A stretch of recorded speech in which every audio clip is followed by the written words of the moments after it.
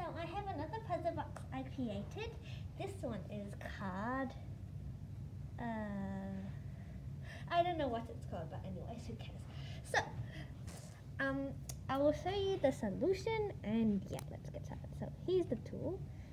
It's a one by six tile.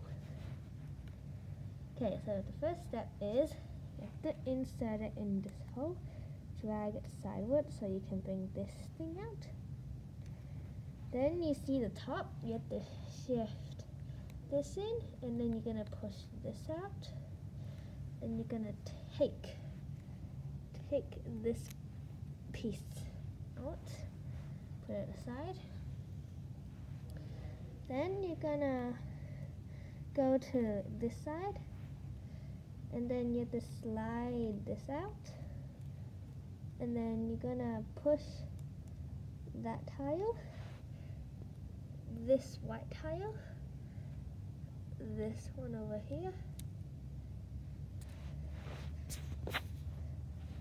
and you're gonna so you see on this side um, there's that white tile so you need to push it it out take it out and then put it aside.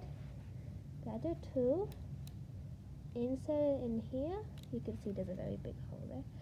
And then insert on this side, not this side, this side, and then you can push your ticket out.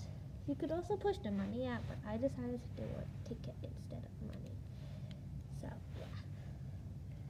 Thank you for listening. Bye-bye.